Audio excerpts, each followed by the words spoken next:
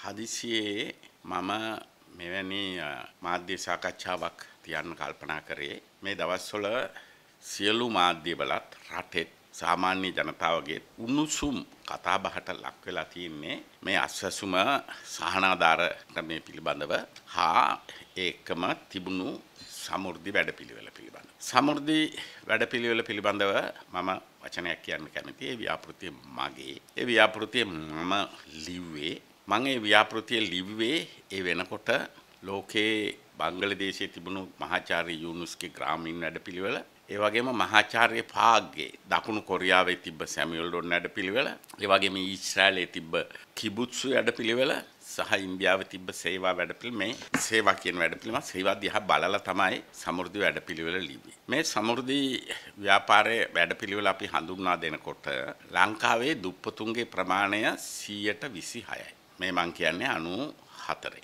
126යි මහින්ද රාජපක්ෂ ජනාධිපතිතුමා රට යහපාලන රජයට බාර දෙනකොට 2015 ලංකාවේ දුප්පතුන්ගේ ප්‍රමාණය 6.4යි. ඒ නිසා මම පළමුවෙන්ම කියන්න කැමති මොන චෝදනා ආවත් සමෘද්ධි ව්‍යාපාරයේ මේ රටේ දුප්පතුන්ගේ දුප්පත්කම නැති කිරීම සඳහා විශාල වැඩ කොටසක් කරපු ව්‍යාපාරයක්.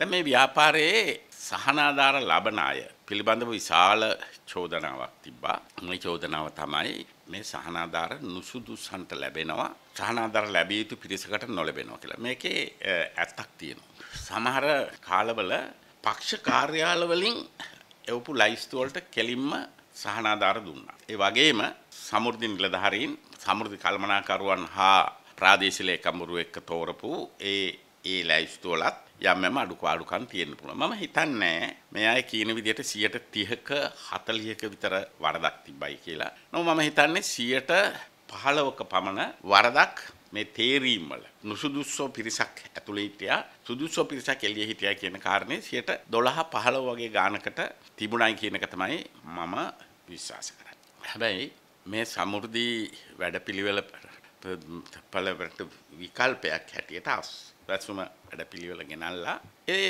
සහනාධාර ලැබෙන් තේරීමට යෑමේදී පළමුවෙන්ම අපේ රටේ වෙච්ච වැරද්ද තමයි සමෘද්ධි නිලධාරීන් ගමේ ඉන්න ග්‍රාම සේවා නිලධාරීන් ගමේ ඉන්න සංවර්ධන නිලධාරීන් ගම්වල ඉන්න කෘෂිකර්ම පරීක්ෂණ සංවර්ධන සහකාර නිලධාරී මේ සියලු දෙනා ආණ්ඩුවත් එක්ක ඒ වෙලාවේ පොඩි ප්‍රශ්නයක් තිබුණු නිසා මේ වැඩපිළිවෙල කරන්න බාර ගන්න කැමති වුණේ නැහැ. ඒකට හේතුවක් තිබ්බා. අස්වැසුම වැඩසටහන පිළිබඳ තිබ්බ ඒ චක්‍රලේඛනවල තිබ්බා කිසියම් නිලධාරියෙක් මේ එපු තොරතුරු වැරදි තොරතුරු දීලා තිබ්බොත් ඔහුටත් ඔහු දඬුවම් කළ යුතු ඔහුට අධිකරණයෙන් දඬුවම් කළ හැකි වරදකට ඔහු හසු වෙනවා කියලා. මේ කාරණේ තිබ්බා තව පොඩි පොඩි කාරණා ටිකක් තිබ්බා. හැබැයි මම හිතන්නේ අපි ඒ වෙලාවේ මේ ප්‍රශ්නේ විසඳාගෙන මේ නිලධාරීන් සමග ස්වාධීනව ඔය පත් කරපු අස්වැසුමේ සහනාධාර මණ්ඩලේ අය එකතු වෙලා මේ වැඩේ කරන්න තමයි හොඳ. මේ වැඩේ කරන්න යොදපු පිරිස සමහර අය ගමේ නිකන් තරුණයෝ. සමහර අය තරුණ සේවාවල සභාවේ හිටපු ඔය නොයෙකුත් සාමාන්‍ය කිසිම අත්දැකීමක් නැති තරුණයෝ.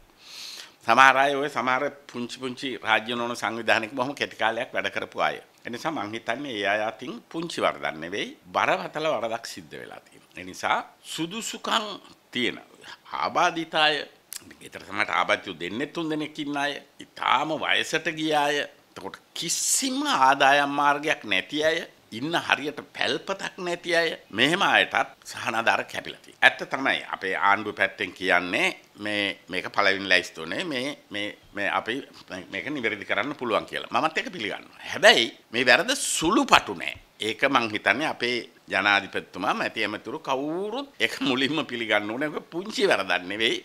බරපතල වරදක් සිද්ධ වෙලා තියෙනවා කියන එක තමයි මම කියන්නේ මේ තේරීමේදී. ඒ නිසා ඒ බරපතල වරද හදා ගැනීම සඳහා කටයුතු කරන්න ඕන කියන එක තමයි මම පළවෙනියෙන් කියන්නේ. ඒ නිසා මේ මේ ඇත්තටම නුසුදුසු අය අයින් කරලා සුදුසු නැලබෙන අය ඇතුල් කරලා මේ ලයිස්තුව හදන එක හොඳයි. දැන් ඊළඟ කාරණේ තමයි මේ සහනාධාර දෙන ක්‍රමය. දැන් අපි සමෘද්ධි සහනාධාර වැඩපිළිවෙල පටන් ගත්තම අපි ඒ දීප සහනාධාරයෙන් කොටසක් කිසියම් මුදලක් පටන් ගත්ත රුපියල් 1000කින් ඒක දැන් පොඩි පොඩි වෙනස්කම් වෙලා තියෙනවා. අපි අනිවාර්ය ඉතිරි කිරීම හැටියට සමෘද්ධි බැංකුව වලට දැම්මා. ඊළඟට තව රුපියල් 15ක් පටන් ගත්තේ එහෙමයි. දැන් මං හිතා රුපියල් 100ක් විතර සියක් විතර සමාජ ආරක්ෂණ අරමුදලට දැම්ම. තව රුපියල් 10ක් පටන් ගත්තේ මම දැන් මං හිතන්නේ රුපියල් 50ක් විතර නිවාස සංවර්ධන අරමුදලට දැම්ම. දාලා අපි අද දැවැන්ත බැංකු 1090ක් හදලා තියෙනවා. මේ 1090 අම්මත්තක කරන්න හොඳ නෑ. අපේ රජයේ ඇත්තම් අපේ මැති ඇමතිවරු මාසෙකට මේ බැංකු 1090න් විසි තුන්දාහත් විසි පන්දහත් අතර ගානකට විසි පන්දාහත් ලක්ෂ විස්සත් අතර මුදලක් ඇපකාරයෝ නැතුව දේපල ඇප නැතුව දේපල ඇප නැතුව රත්තරන් රිදී වගේ දේවල් වල ඇප නැතුව ඇප කාර්යොත් නැතුව කුඩා කණ්ඩායමේ තීන්දුවක් කරන් සමිතිය තීන්දුවක් අරගෙන 25000 ඉඳලා ලක්ෂ 20 දක්වා ණය 23000 25000 අතර ගාණක් හැම මාසෙම මේ දුප්පතට දෙනවා. ඊළඟ එක තමයි සමාජ ආරක්ෂණ ආරමුදල. මේ සමාජ ආරක්ෂණ ආරමුදල ආරමුදල යටතේ හැම දරුපතකටම රුපියල් 20000ක්. හැම මරණ ගෙදරකටම සල්ලි දෙනවා. හැම සමෘද්ධි පවුලක විවාහයකටම සල්ලි දෙනවා. හැම සමෘද්ධි පවුලක කෙනෙක් අසනීප වෙලා ස්පිරිතාලට ගියොත් දමාසකට දවසකට පහේ රුපියල් 300 ගානේ උපරිමේ රුපියල් 10000ක් හෝ 20000කට යටත්ව සල්ලි දෙනවා. ඒ වගේම සමෘද්ධි පවුලක ළමෙක් උසස් පෙළ කරන්න ගියොත් ඒ ළමයාට මාසෙකට මං හිතන්නේ රුපියල් 1000ක් 1500ක් විතර ඒ අවුරුදු දෙකම මාස්පතා ඒ දරුවට ගෙවනවා. ඒ දරුවට ගෙවනවා. ඉතින් ඒක නිසා ඒක දැවැන්ත කාරණයක්. දැවැන්ත කාරණයක්. ඊළඟ එක තමයි අපේ නිවාස අරමුදලෙන් හැම මාසෙම ගෙවල් 350ක් හදනවා. හැම ප්‍රාදේශීය ලේකම් කාර්යාලයක්ම ලොතරැයියෙන් ඇදලා සමෘද්ධිලාභීන් 314 දෙනෙක්ගේ ගයක් හදනවා. ඊට අමතරව ඔය හදිසි ආපදාවන්ට ලක් වෙන හදිසියේ ඔය පුවත්පත් වලින් අරහෙන් මෙන් තොරතුරු වෙන එහෙම නිවාස නැති අසරණ වෙච්ච පවුල් වල එයාගේ ගෙවලුත් හදලා දෙනවා. මාසෙකට ගෙවල් 350ක් විතර හදලා දෙනවා. ඒක පොඩි ගාණක් නෙවෙයි. හැම දරු උපතකටම හැම මල ගෙදරකටම හැම අසනීපයකටම හැම දුප්පත් කෙනෙක්ගේ විවාහයකටම මුදල් දෙන එක ඒ වගේම ඒ පවුල්වල දරුවෝ විශ්වවිද්‍යාලයට මේ උසස් පෙළට ගියාම එයාට මාසික රුපියල් 1000ක 1500 විතර දීමනාවක් හැම මාසිකම දෙන එක මේවා පුංචි දේවල් නෙවෙයි.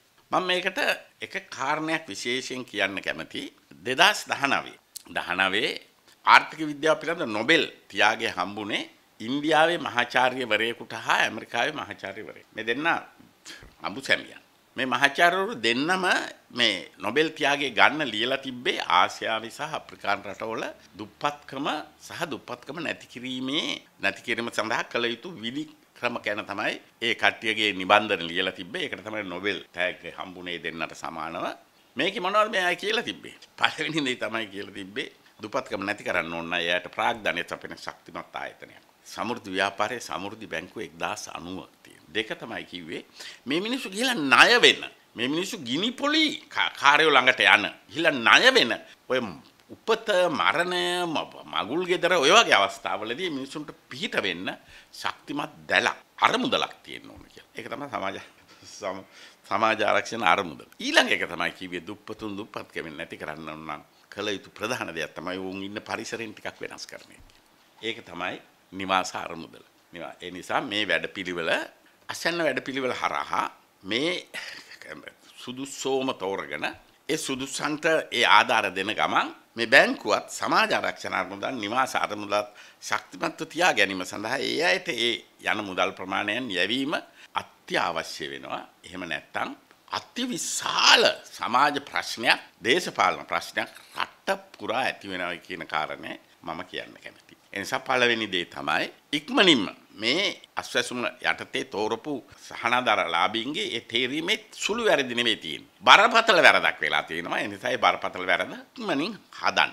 මේකට ප්‍රාදේශීය ලේකම්වරුන්ගේ මේ සංවර්ධන නිලධාරීන්ගේ සමෘද්ධි නිලධාරීන්ගේ සහාය ගන්න. දෙවෙනි කාරණය තමයි මේ වැඩපිළිවෙල ක්‍රියාත්මක වීමේදී අද සමෘද්ධි බැංකු සමාජ ආරක්ෂණ අරමුදල නිවාස අරමුදල සඳහා ඒ ගිය මුදල් කොටස් ඒ විදිහටම එහෙම නැත්නම් ඊට ටිකක් වැඩියෙන් හරි යවලා ඒවා තවත් ශක්තිමත් කිරීම ඉතාම වැදගත් කාරණයක් වෙනවා. එහෙම නැත්නම් මේ මේක සම්පූර්ණයෙන් කඩාගෙන වැටෙනවා. මම කියන්න කැමතියි ඒකට ලංකාවේ කර්මාන්ත ශාස්ත්‍රයේ සංයුතිය කොහොමද කියලා බැලුවොත් මම මේ 2018 සංඛ්‍යාලයකන කියන්නේ කෘෂි නොවන කෘෂි නොවන ව්‍යවසායකයන් ඉන්න මුළු ගණන අපේ රටේ දසලක්ෂ 35000.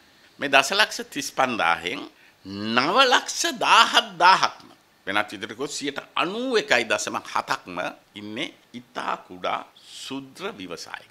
වෙන විදිහකට කිව්වොත් තමුන් විතරක් වැඩ කරන නැත්නම් තමුන් බිරිඳයි විතරක් වැඩ කරන උපරිමේ හතර දෙනෙකුට සීමා වෙන ඉතාම කුඩා ව්‍යාපාර. මේ අය මේ අය එන්නේ නැහැ මේ මහජන බැංකුවට ලංකා බැංකුව. දැන් මේ මේ මේ මේ මේ අස්වැස්ම වැඩසටහනේ කරපු ගත් මේ සමීක්ෂණය කරපු තව වැරදක් තමයි බැංකු තොරතුරු හෙව්වේ ගිහිල්ලා ලංකා බැංකුවේ මහජන බැංකුව වගේ වල. ඒක හරියන්නේ නැහැ. මේ අය යන්නේ සමෘද්ධි බැංකුවට. ඒකයි මාසිකට 25000 25000 දෙනකොට දෙන්නේ. දෙක යන්නේ සනස බැංකුවට. තුන යන්නේ සම්පකාර ග්‍රාමීය බැංකුවට. හතර යන්නේ ගිනි පොලි කාර්යාලවල. ඒ මේ මේ පිරිස යන්නේ එහෙමයි. ඒක තමයි ඇත්ත. ඒ නිසා ඔය ඉතා කුඩා ව්‍යවසායකින් හා ඉතා කුඩා ගොවීන් ගොවීන් ගනුදෙනු කරන ආයතන ගැන අපි කල්පනා කරන්න ඕන පළමුවෙන්. ඒවා මහජන බැංකුව ලංකා බැංකුව නෙවෙයි. ඒවා අනිත් බැංකුව ගැන කතා කරලා වැඩක් නැහැ. ඒවා නෙවෙයි. ඒවා නෙවෙයි. මේ මිනිස්සු වැඩ කරන්නේ ගමේ සමුපකාරණාය දෙන සම්ප බැංකුවත් එක්ක, ඒ වගේම සානස බැංකුවත් එක්ක, සමෘද්ධි බැංකුව සමෘද්ධි බැංකුව තමයි වැඩිම තියෙන 1090ක් තියෙන. එක්ක මේ වගේ ඒවා ඒ බැංකුත් එක්ක තමයි වැඩ කරන්නේ. කෘෂිකර්ම දෙපාර්තමේන්තුව යටතේ ගොවි ජන සේවා මධ්‍යස්ථානවල කෘෂිකර්මික සේවා බැංකුවක් තියෙනවා බොහොම පුංචි මට්ටමින් ක්‍රියාත්මක වෙන. ඒවත් එක තමයි අය ගොවිතැන් කරන්නේ. ඊළඟට යන්නේ මේ ගිනි පොලි කරුවෝ ළඟට. ඒ නිසා මේ ප්‍රශ්නය ඊටාම සැලකිල්ලෙන් ගන්න. පළවෙනිම මම කියන්නේ අස්වැස්ම හරහා මේ තේරීමෙන් කරලා තියෙන පුංචි වරදක් නෙවෙයි ලොකු වරදක්. ඒක හදාගන්න. ඒ වරද හදාගන්න හදාගන්න දෙවෙනි කාරණේ තමයි මේ මිනිස්සු ගනුදෙනු කරන 1090ක් සමෘද්ධි බැංකු මේ මිනිසුන්ගේ උපත අසනීපය විවාහය මරණය සඳහා ණය නොවි ඒ කටයුතු කරගන්න මුදල් දෙන සමාජ ආරක්ෂණ අරමුදල සහ හැම මාසෙම ගෙවල් 350ක් අතර නිවාස අරමුදල ආරක්ෂා කර ගැනීම සඳහා ඒ අයගේ විශේෂ අවධානය යොමු කරන එක ඊටම වැදගත්. එහෙම නැත්නම් මේ රට තුල විශාල සමාජ අර්බුදයක් මතුවෙනවයි කියන කාරණය මම කියන්න කැමතියි.